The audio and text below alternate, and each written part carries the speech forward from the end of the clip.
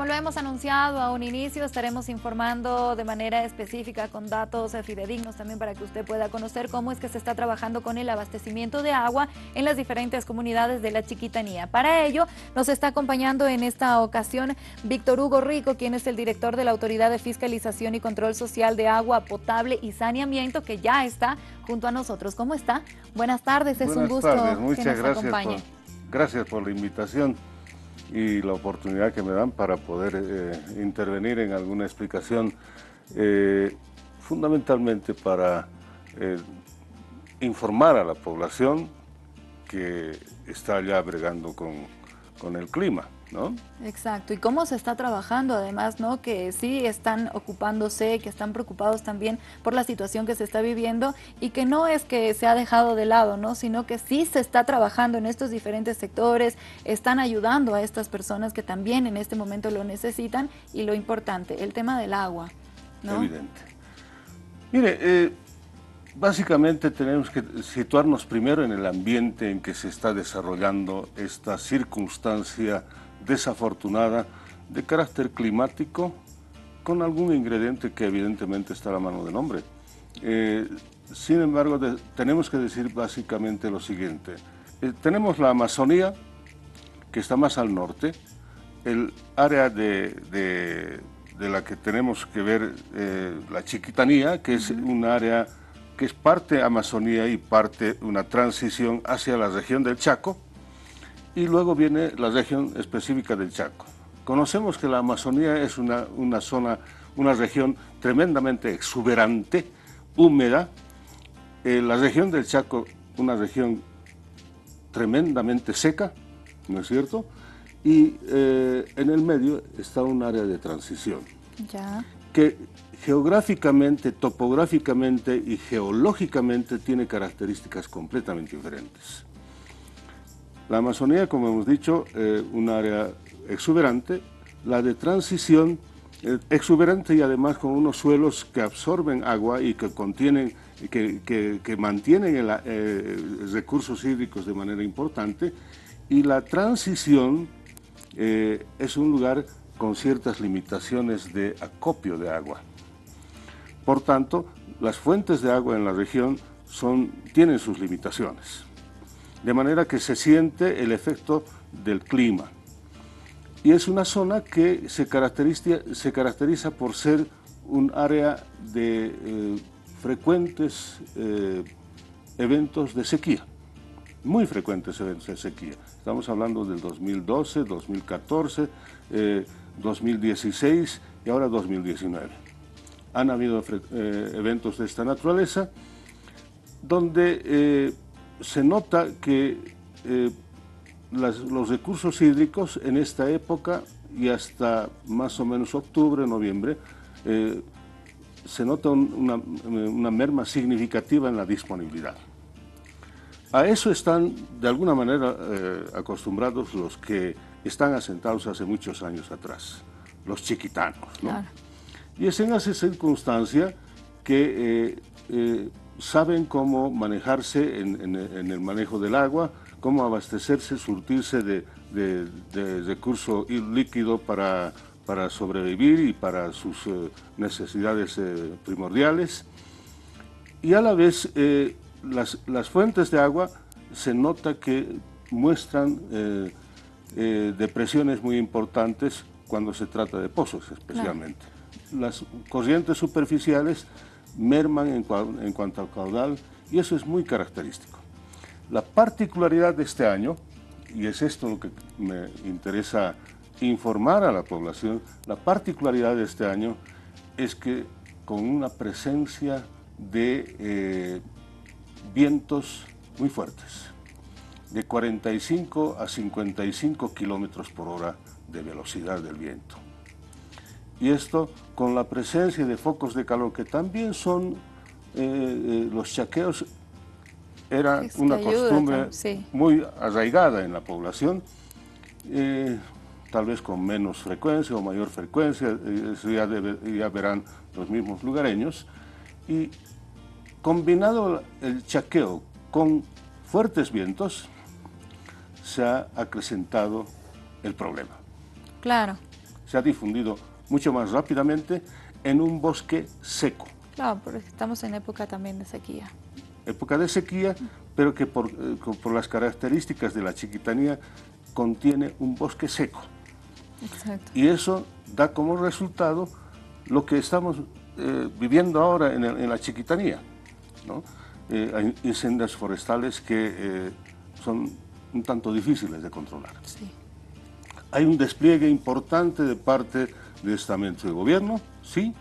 Eh, hay un, comando central, eh, una cantidad importante de efectivos militares que están contribuyendo en el control de, los incendios, eh, bomberos, equipos de bomberos muy importantes, una cantidad importante, se ha desplegado cisternas, se ha desplegado equipos apropiados para mitigar los incendios, se ha logrado la cooperación, bueno, se ha logrado contratar el, avión especial, el avión cisterna especial. Supertanker. El supertanque, pero también hay la cooperación eh, de China, de Rusia. Que viene de, China, de Rusia y algo también viene de Francia. Entonces, de esa actividad combinada, aún así se están presentando situaciones de este ingrediente muy importante, el viento el viento sorprende a cualquiera. Están, eh, hay imágenes que, muestran que los, que los eh, voluntarios, que los efectivos militares y, los eh, profesionales asignados a la, mitigación del, viento o del, del fuego están lidiando de una manera extraordinaria extraordinaria, inclusive arriesgando la vida. Exacto, pero también están trabajando eh, en el tema del abastecimiento ¿no? del agua en estas diferentes comunidades, porque es importante también. Lo primero que se ha hecho, hacer eh, tanto eh, equipos del Ministerio de Medio Ambiente y Agua, como equipos de, nuestra institución, nos hemos apersonado allá, hemos hecho visitas, inspecciones y hemos establecido inicialmente tres lugares, inicialmente dos lugares, ¿no? Dos lugares en el municipio de Roboré, y esos dos lugares son eh, los que, donde se ha encontrado eh, San Lorenzo y eh, Aguascalientes. San Lorenzo y Aguascalientes, se dice que son tres comunidades, son San Lorenzo Chico, Antiguo y, Nuevo. Entonces prácticamente es una comunidad, son, son dos asentamientos. Sí. Entonces, eh, ahí se ha encontrado que los sistemas de agua, la, tubería de aducción de ambos sistemas han sido afectados. Se han quemado las tuberías. Están en estos momentos en proceso de, rehabilitación, han hecho algunas tomas y algunos, eh, algunos trabajos eh, temporales, pero están trabajando, se está trabajando en la rehabilitación del servicio. En comunidades rurales donde hay unos asentamientos muy pequeños, eh, podríamos contar alrededor de entre 30 y 40, sí se han encontrado afectaciones de, eh, la, de la quemazón, diríamos así, ¿no? Afectaciones que han afectado a las fuentes de agua, que obviamente han generado caídas de árboles, eh, troncas y cosas, y eso es cuestión de rehabilitar. Claro el agua allí donde todavía existe algún recurso hídrico no se ha perdido a consecuencia del, fuego, porque eso es imposible. El fuego no va a hacer desaparecer el agua. Claro, claro, no. Es la época de sequía, que está generando la merma del agua. Sí. Esto debemos entender todos para no estar con, conjeturas fuera de lugar, con todo el respeto que se merecen las personas que emiten opinión al respecto. Entonces, creo que es importante mencionar que la mayor parte de las comunidades tienen su medio de sobrevivencia de acceso al agua. Pero también saben esas comunidades que en algún momento se le puede llegar una situación de merma importante, característico y conocido por ellos mismos. Exacto. ¿Por qué? ¿De dónde se surten de agua? De pozos excavados por ellos mismos y esos pozos tenían su nivel de agua y en esta época de sequía, que, a la cual debo referirme con bastante insistencia, se nota que esos niveles de agua han bajado, claro. han mermado. Y Por favor, debemos entender esta situación. Y frente a eso, hay que ver nosotros los profesionales, incluyéndome yo mismo, debemos comenzar a pensar en qué va a pasar, qué debemos hacer después de esta coyuntura, de esta situación extrema que está pasando nuestros queridos compatriotas que viven en la región. ¿Qué vamos a hacer nosotros los profesionales para encontrar soluciones a esto que está resultando ser una dolencia tremenda en la región?